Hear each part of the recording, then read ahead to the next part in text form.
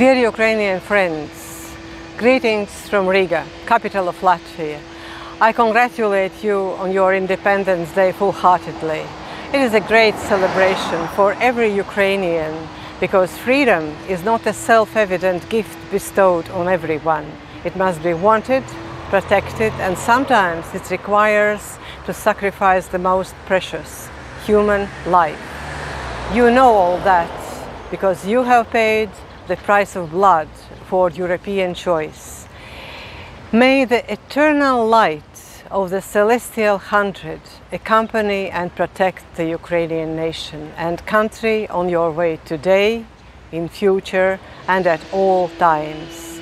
Celebrate Independence Day, remembering your brothers and sisters in Crimea who are being held captive by Russia and all those brave soldiers and compatriots who are fighting for the true return of Donbas to Ukraine. Celebrate, but also think about our Belarusian brothers and sisters who want to be free, to free themselves from Lukashenko dictatorship. Dear friends, 31 years ago, on August 23rd, the people in the Baltic states joined the hands in the Baltic Way this year we are dedicating our Baltic Way to the fight of our neighboring Belarus.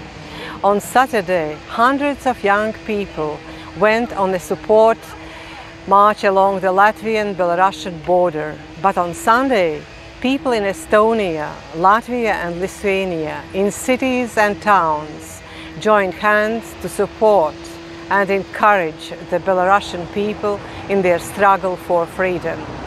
May they succeed in what we have achieved already uh, in the Baltic states and in Ukraine.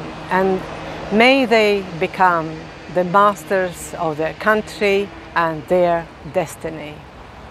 Slava Україні! Героям слава!